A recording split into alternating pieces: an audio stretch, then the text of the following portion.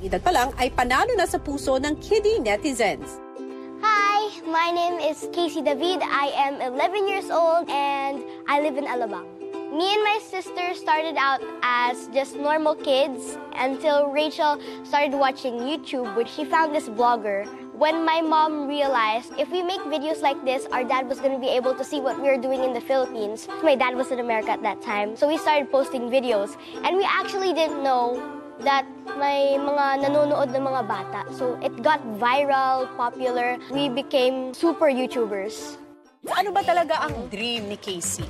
My dream is actually really to become a singer. Nung one-year-old siya, I was then playing the music called ano, Don't Stop Believing. Yung last part nun.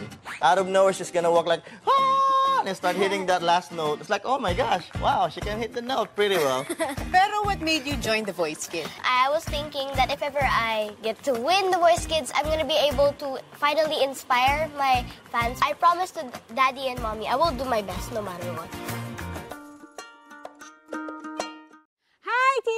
Voice! Did you like this video? I bet you did. Kaya subscribe na to our official YouTube channel here and hit the bell icon to get notified for our latest uploads. And you should also watch this.